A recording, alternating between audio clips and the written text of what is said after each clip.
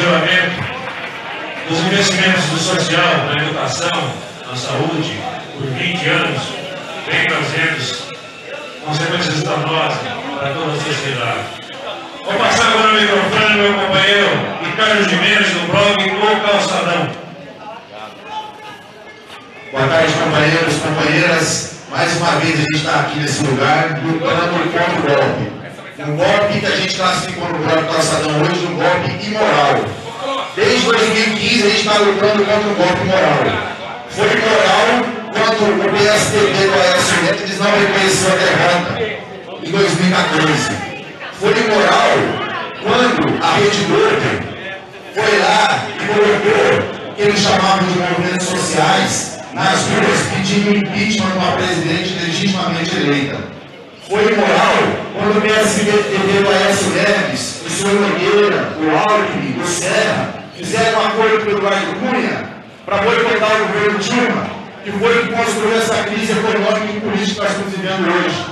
Foi imoral quando o STF deixou um criminoso, que já se sabia dos crimes do Eduardo Cunha, conduziu um processo de impeachment ilegal e sem provas contra a presidente Dilma. Continua a ser imoral hoje, quando querem implantar, através do, do governo Temer, que foi, na, final das contas, o se conseguiu desse movimento todo, né, foi a aliança entre os traidores e os derrotados. Os traidores do PSDB e os derrotados do PSDB fizeram o governo. Governo Temer, apoiado na mídia e no movimento ilegítimo de golpe. Esse movimento, através de uma tal, um tal documento chamado Ponte para o Futuro, sem voto, que não foi eleito, que não foi discutido com a população, começou a retirar direitos mais sagrados do povo trabalhador e entregar as riquezas como pressal. É completamente um golpe moral. Quando esse golpe moral, nós estamos indo às ruas desde 2015 e vamos agora. E a unidade agora é evitar um novo golpe. Qual é o novo golpe? Das eleições diretas. Já começa a grande mídia, a maior delas, a falar que a eleição direta é inconstitucional. Como se constitucional fosse golpe que eles fizeram na presidente eleita sem provas. Isso é inconstitucional. Eleição direta não tem nada mais constitucional e soberano do que eleição direta.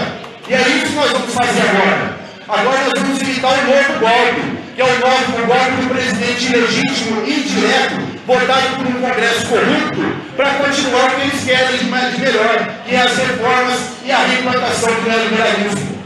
Fora Temer e direta já é o grande passo, o único passo de unidade de todos os setores populares democráticos para nós reconstruirmos a democracia. Fora Temer, direta já, não as reformas, é onde nós vamos trazer o povo trabalhador para o nosso movimento, como já foi feito no Brasil outras vezes. Vamos derrubar Temer, vamos vencer a Globo, vamos eleger um presidente para continuar construindo um projeto soberano para o país. É isso que nós temos que fazer. Não temos que nos unir aqui em Ribeirão Preto. O comitê, o comitê que era contra o golpe, contra as reformas, agora, na minha proposta, deve se transformar no comitê fora Temer e direta já. Unificar os democratas de Ribeirão Preto e a luta até a vitória. Muito obrigado. Muito bem.